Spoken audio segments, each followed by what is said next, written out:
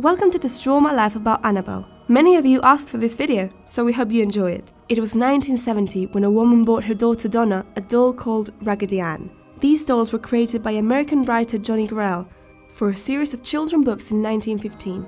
This character was very successful. Donna, who was studying nursing in university, put her new doll on her bed. It was a rag doll, and her hair was made of red wool. Suddenly strange things started to happen. Donna and her roommate Angie were shocked to see the doll appear in different spots of the room, often changing position. At first, they thought someone was pranking them, coming in the room while they were away, but soon creepy notes began to appear, saying things like, Help me, did you miss me? Or, Help Lou. Lou was Donna's boyfriend.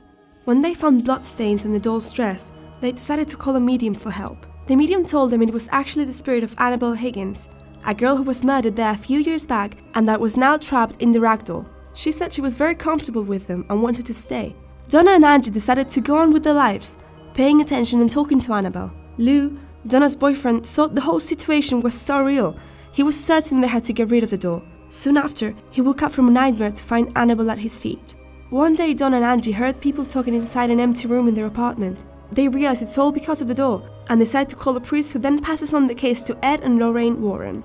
The Warrens were a couple that dedicated their lives to all paranormal and parapsychological phenomena. As soon as they see the doll, they realize it's not a girl spirit but a diabolic entity, so they take her to their house to keep an eye on her. Strange things happen during their journey back to Connecticut. Ed chose to stay off the main roads to avoid accident, but the car started to fail.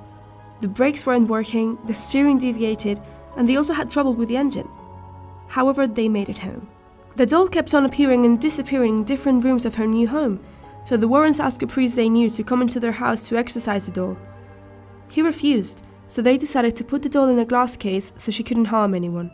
Since then, it's said that a priest goes to their house twice a month to bless the doll with holy water to keep the demonic presence from reappearing. The Warren statements are the only proof we have of Annabelle's story being true. In 2013, The Conjuring came out a movie about the Perron family and their haunted house. It's one of the Warrens' most famous cases, and it includes the presence of the witch Bathsheba. In the movie, we can see Annabelle being possessed by this witch. The film was so successful, they soon started thinking about a prequel for The Conjuring, a movie about Annabelle's story. This movie came out a year later, in 2014, and the doll didn't look like the one in the original story. Honestly, the fictional one is way creepier. In this spin off, we see the story of a couple that buys this doll and days later, two Satanists break into their house and try to kill them. The possessed woman kills herself, and that's when his spirit passes on to the doll. At the end of the movie, we can see Annabelle on display at the shop window as a woman buys it for her daughter, who is a nursing student. Ring a bell? Real or not, Annabelle's is one of the most well known horror stories in the world. Would you dare to have her in your room? Thank you for watching this Draw My Life. If you liked this video, don't forget to hit the like button and subscribe to our channel. Leave us in the comment Hey. I'm here.